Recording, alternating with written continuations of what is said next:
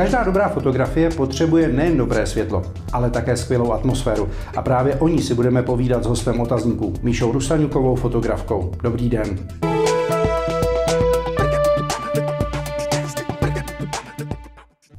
Míša Rusaňuková, mladá perspektivní fotografka, jak máme v přípravě. Dobrý den, Míšo. Dobrý den. Eh, kde bere fotograf inspiraci? Tak, inspirace dneska to se dá najít všude. Hlavně Instagram si myslím v dnešní době, že je nejvíc protože tam nemáte stejně jako na Facebooku, tam nemáte v podstatě spoustu jako zbytečných slov, ale jsou tam vloženě obrázky, takže já konkrétně hodně na Instagramu a občas se inspiruju fotografama, který obdivuju, nebo fotografama třeba z předchozích let, kteří byli úspěšní a tak dále. Já na vás musím prozradit, že pro vás se fotografie stala životní vášní, ale eh, poměrně nedávno. Eh, vy jste ještě před pěti lety dělala úplně jinou profesi. Přesně tak. Jakou? Prozraďte. Já jsem dělala asistentku. Dělala jsem vlastně 6 let asistentku náměstka, předtím jsem, eh, v pojišťovně, předtím jsem dělala v realitce a v reklamce. A pak jsem se rozhodla, že je čas na změnu, odjela jsem do, do New Yorku a tam jsem začala fotit. Takže až v New Yorku jste mm-hmm. začala fotit? Přesně tak. Eh, nebylo to tak, že jste jela do New Yorku a řekla jste, budu fotit v New Yorku? Ne, prvně to, prostě... To by mě vůbec nenapadlo. Já jen... jsem tam jela na rok a že se vrátím. A už jsem zůstala. Jak dlouho jste byla v New Yorku? Byla jsem tam tři roky. První rok jsem byla jako operka, takže jsem si koupila vlastně foťák, zrcadlovku, začala jsem tam fotit děti. A potom mě to chytlo a objevila jsem New York Film Academy, takže jsem se přihlásila, vystudovala jsem ji a už jsem zůstala jako fotografka. Jak je těžké pro člověka z Čech, který odejde do New Yorku, je tam vlastně um, jako oper, uh, dostat se na takhle prestižní školu? Uh, není to tak složitý, protože tam v podstatě nejsou přijímačky, to byl kurz, takže eh, to nebyl jakoby tříletý program, pětiletý program, oni tam jakoby různý programy, ale byl to kurz a eh, byli tam spolužáci z celého světa, takže to bylo výborný a v podstatě jsem poprvé měla pocit, že jsem mezi svýma. Takže to bylo skvělé. Když člověk poprvé dostane eh, do ruky foťák, tak je důležité, jak vždycky říkám, jestli dostane ten automat, anebo jestli dostane ten, s kterým si může hrát. Někdy si dávno učil fotit dědeček na klasický filmový fotoaparát. Mm. První fotografie byla jedna velká tma, protože pracovat s expozicí nebylo v té době jednoduché. Dneska je to mnohem jednodušší, všechno zase vás udělá automat. Jakou cestou jste šla vy? Zkoušela jste prvně automat, anebo už jste začala experimentovat clona? Čas a podobně. Určitě. Tak já jsem v podstatě ve svých 20 letech jsem klapala film, teďka trošky, tam jsem se seznámila se zrcadlovkou, tam jsem jí tak jako ošahala poprvé, rozumně mě to nadchlo, koupila jsem si takovou tu úplně nejzákladnější a fotila jsem na automat, protože já jsem měla třeba tenkrát pocit, že to v životě nezvládnu nastavit. Jo, že jako holka a nejsem úplně technický typ, tak jsem si říkala, to bych v životě nezvládla, to vůbec nebudu zkoušet, cvakala jsem si na ten automat a samozřejmě, že ty fotky byly takový pro, jak se to řekne, průměrný prostě. Nebylo tam, nebylo tam nic navíc. A potom až v té Americe, kdy jsem si koupila lepší foťák a začala jsem se tím zabývat, začala jsem si o tom číst a byla jsem schopná to nastavit, tak najednou jsem zjistila ty možnosti toho foťáku, který tam jsou. Takže samozřejmě se dá fotit na automat, ale vy chcete tomu foťáku říct, co chcete vidět, co vy vidíte. A ne, aby on vám říkal, co vy vyfotíte. Kolik procent práce eh, fotograf odvede eh, na tom place a kolik procent práce odvede pak u toho počítače? Protože to je další krok, eh, že dřív, když se fotilo na klasický film, tak přeci jen ten proces toho vyvolání mohl člověk část ovlivnit, ale asi ne tolik jako dneska v té digitální době, hmm. kdy můžete použít nejrůznější filtry a podobně. Kolik na kolik procent to je? Řekla bych, že to samotné focení je tak 30 a zbytek je postprodukce, protože vám trvá, nebo mě konkrétně zabere nejvíc času vybrat ty fotky. Že třeba z portrétního focení mám průměrně 600 fotek a nad těma 600 fotkama strávím třeba hodinu až dvě jenom vybíráním, selektováním těch správných a potom samozřejmě úpravy. Jo, a nepoužívají se jakoby filtry, ale používají se presety vlastně v Lightroomu a uh, ty si člověk může udělat svoje, nebo jsou nějaký přednastavený a podle toho si tu fotku upravíte tak, jak chcete. Prostě někteří fotografové používají svoje, že třeba mají jeden a používají to na všechny fotky, někdo si vytváří svoje, někdo má, každý má rád jiný styl. A v podstatě ten úspěch té fotografie je i o tom, je to tak jako 50 na 50 s tím to hezky vyfotit a pak to hezky upravit. Protože můžete mít pěkně vyfocenou fotku a když ji nezvládnete upravit a ta úprava není pěkná, tak to tím úplně schodíte. 600 fotek za jedno portrétní focení. Mm-hmm. Neproklínáte se někdy pak v té postprodukci? Já si pamatuju, když jsem fotil na klasický film, tak tuším, že měl 32 obrázků, mm-hmm. 32 snímků a člověk si musel se sakramensky rozmyslet na těch cestách, kolik těch špulek má a kolik těch fotek udělá. Takže jsem říkal, tak tady vyfotím jednu, maximálně dvě, abych měl jistotu. Dneska 600 fotek. Jak je to? 600 fotek je fajn. Jo, tam je problém, když třeba fotím svatbu a tam je jako 3000 fotek. To se proklínám.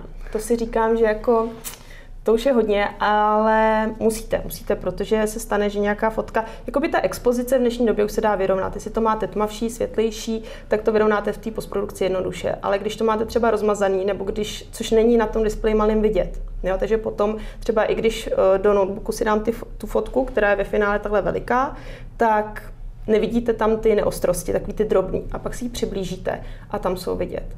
A pokud chcete odvíct profesionální práci, tak to musí být super ostrý ta fotka, nebo ostrý tam, kde to má být ostrý a tak dále. To znamená, že je strašně důležité udělat těch fotek víc, aby pak bylo na výběr, protože si představte, že byste udělal prostě 100 fotek a z těch 100 fotek by byla polovina neostrých a nebylo by z čeho vybírat. Takže těch 600 je docela fajn počet. tak jsem si myslel, že 600 je hodně, vidím, ne, ne, že 3000 začíná 3000 je horší.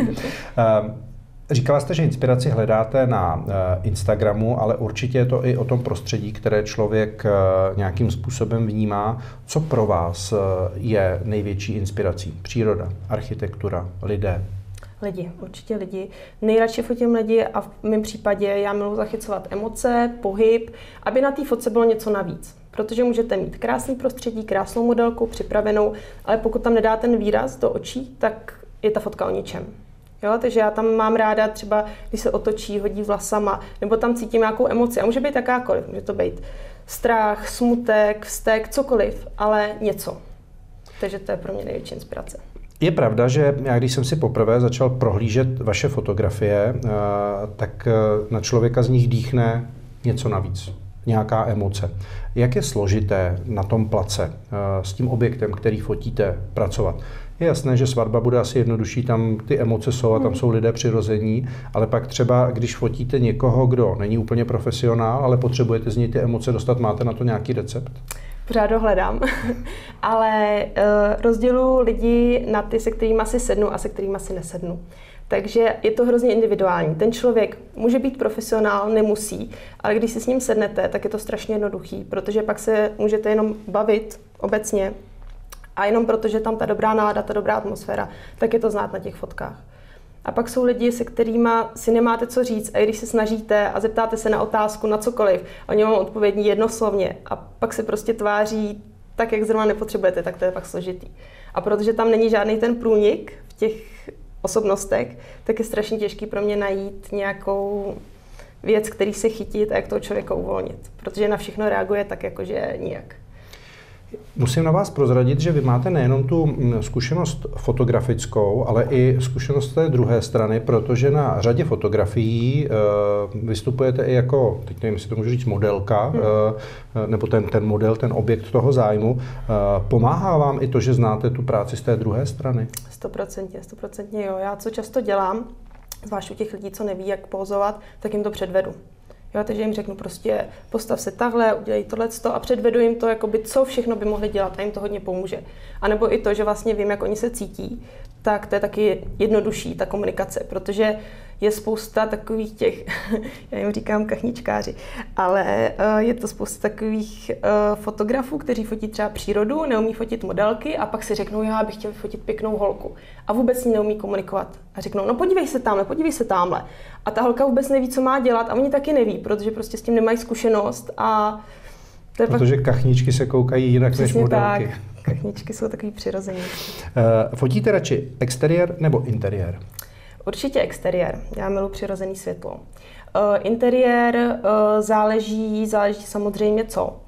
Ale já mám třeba i obecně ráda architekturu. Já mám ráda geometrické tovary, mám ráda souměrnost a tak dále, takže když třeba fotím eh, v interiéru budovy nebo zařízení bytu nebo tak, což občas dělám, tak mě to taky baví, ale co se týče nastavování světel, tak mám radši to, to venkovní světlo, který se vlastně, který vidím a můžu si s ním hrát.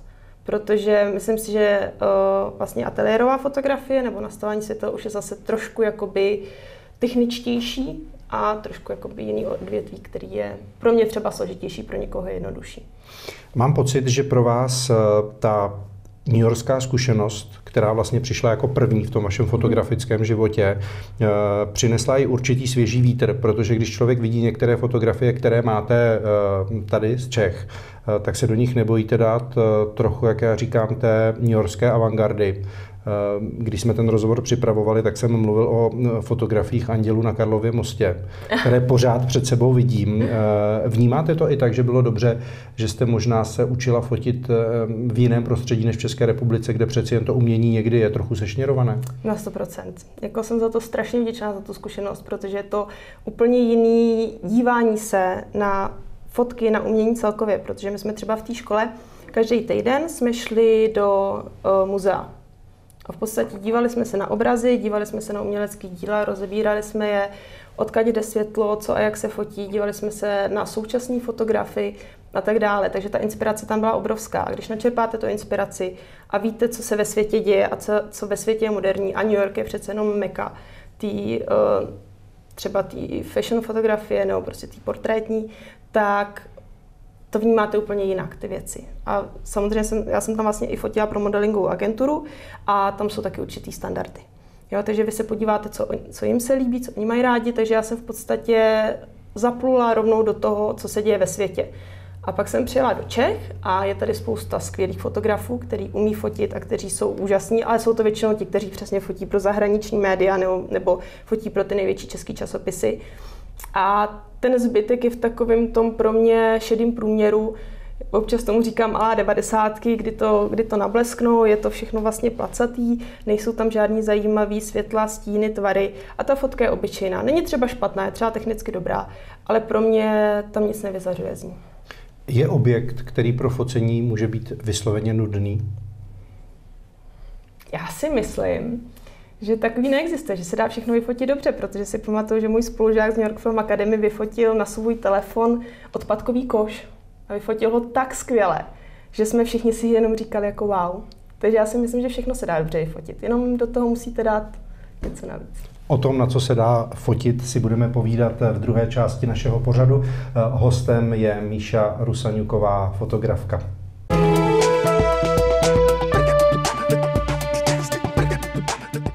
Zahraniční klient ví, co všechno je možný a čeká vyšší kvalitu.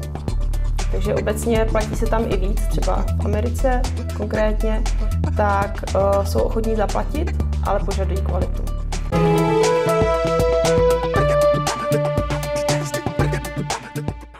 Míša Rusadíková, hostem dnešních otazníků. My jsme si povídali o tom, na co všechno se dá fotit. Vy jste dneska do studia přinesla také svého nového mazlíka, protože si Instagramu vím, že to je pár týdnů starý fotoaparát.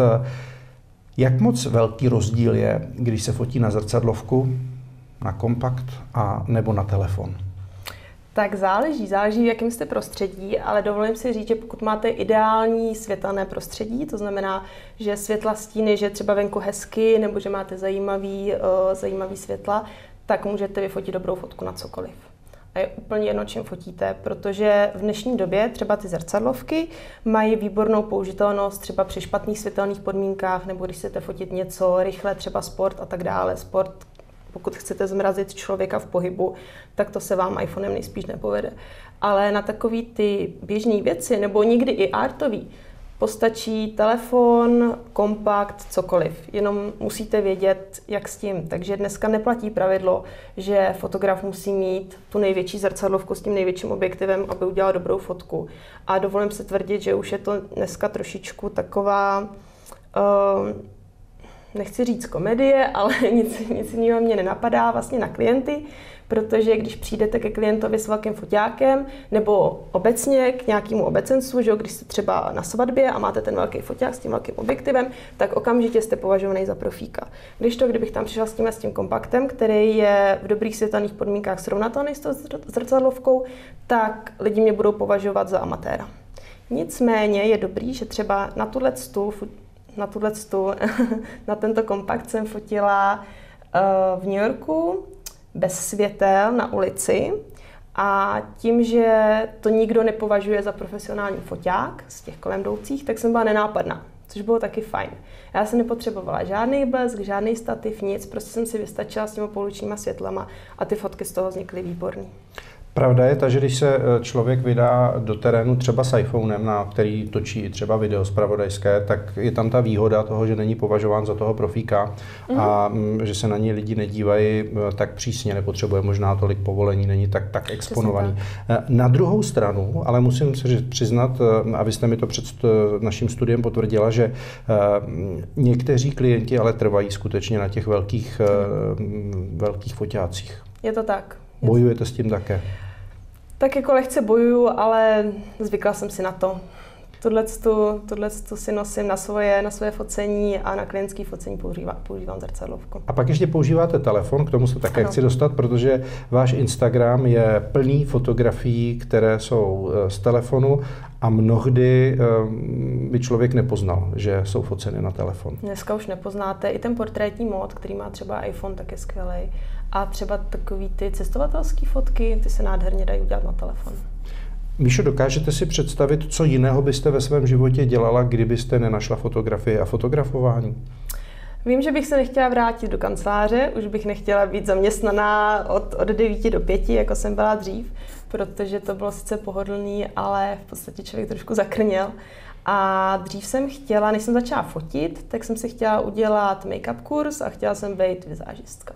Takže možná bych pracovala třeba u filmu nebo na foceních jako vizážistka.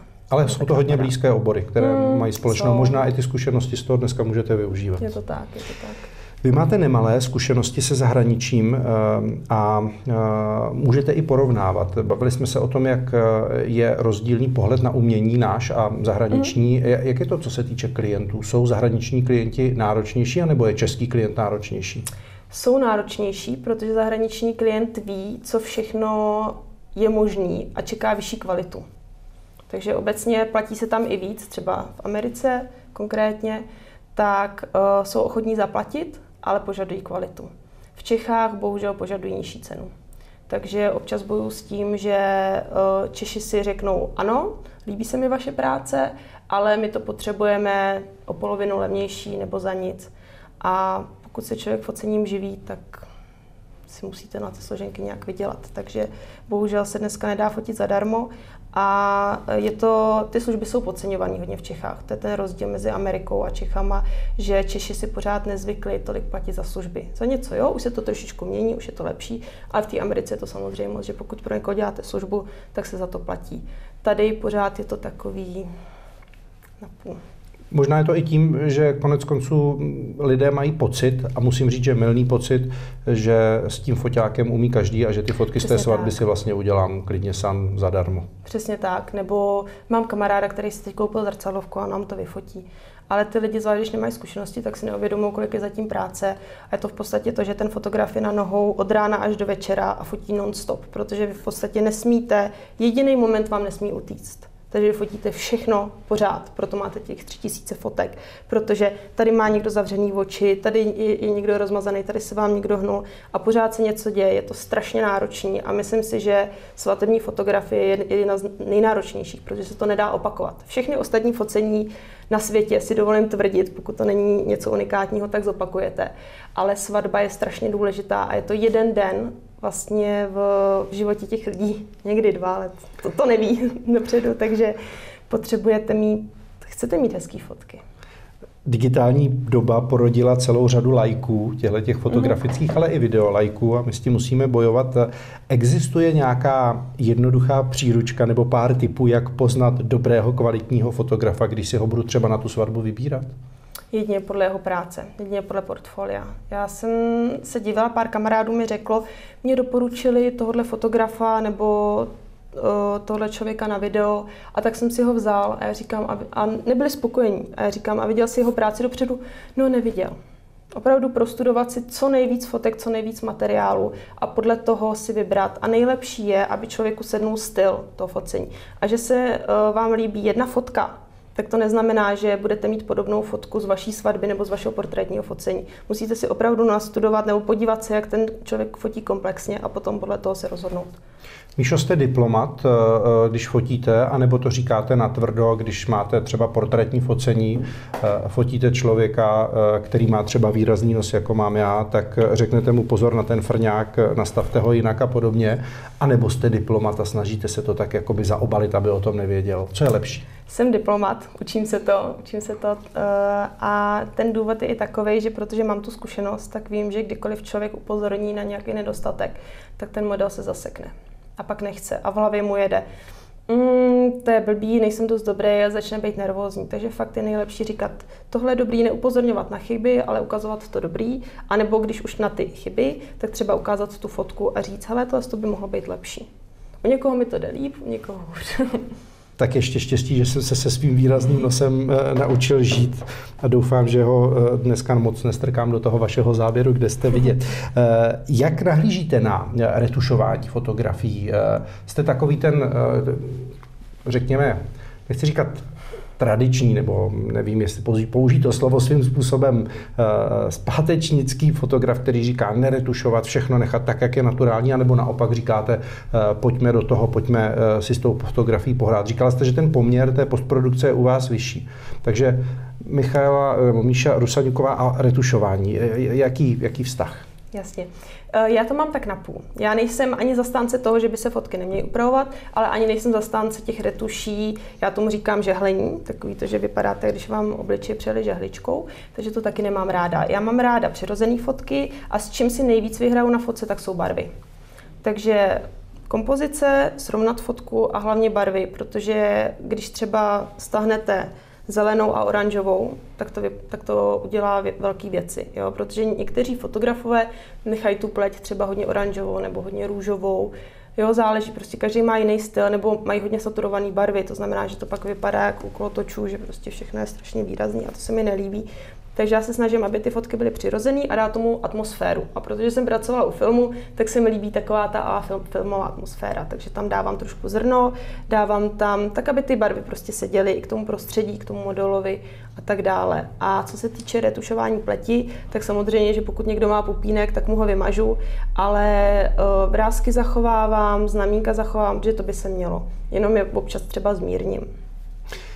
Proč se lidé snaží teď i ve světle těch sociálních sítí, které pro tu mladou generaci jsou v podstatě jedním z takových těch hlavních eh, komunikačních kanálů, eh, snaží do něčeho stylizovat? Vždycky ta fotografie, hm, kolikrát vidíme, že ty fotografie na těch Instagramech a eh, ostatních kanálech sociálních sítí nejsou úplně přirozené, konec konců i celebrity, ať to jsou výtahovky, balkonovky, selfiečka a, a jiné typy chtějí zaujmout, to za prvý. A když vidí, že to funguje u někoho jiného, tak to chtějí taky. To znamená, že oni si řeknou, tahle moje kamarádka, nebo tahle zvězda, nebo tady ten člověk, koho znám, tak má pěkné fotky, když to udělám taky takhle, tak budu mít taky úspěch. A jsou to často i lidi, kteří třeba nemají tak zajímavý, nebo myslí si, že nemají tak zajímavý život jako ostatní a chtěli by mít. A řeknou si, no tak když budu mít tuhle tu fotku, budu mít hodně followerů, tak prostě lidi mě budou mít radši. A to je samozřejmě jedna skupina lidí, neříkám, že to jsou všichni, ale uh, snaží se hodně stylizovat, snaží se hodně žít ten život, který nemají. A přitom si neuvědomují, že některý život těch celebrit bychom jim rozhodně nezáviděli. Když se ale podívám na váš Instagram, eh, tak musím říct, že vy nejste typický eh, vzorek těch sociálních sítí, že byste tam měla ty výtahovky. Myslím, že výtahovku Nebo. vaší jsem tam neviděl snad ani jednu. Ne, to nedělám.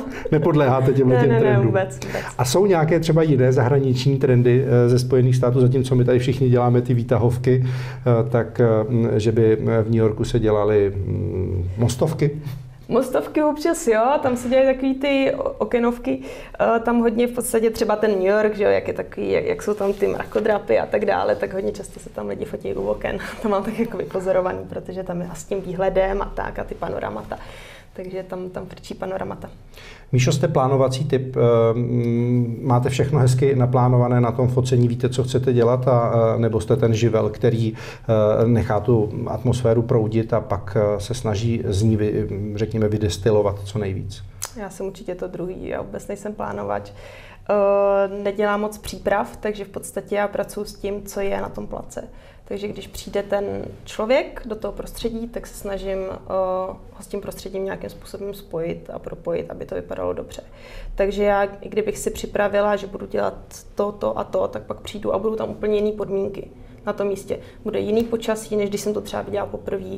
Budou tam, uh, bude tam jiný světlo, bude to zarostlý, nebo to bude opadaný. Uh, těch variant je strašně moc. Takže já v podstatě fakt jakoby pracuji na, na místě podívám se, jak to vypadá a s tím pracuji. Míšo, já vám přeji dostatek dobrého světla a spousty Děkuji. skvělé atmosféry na vašich fotkách.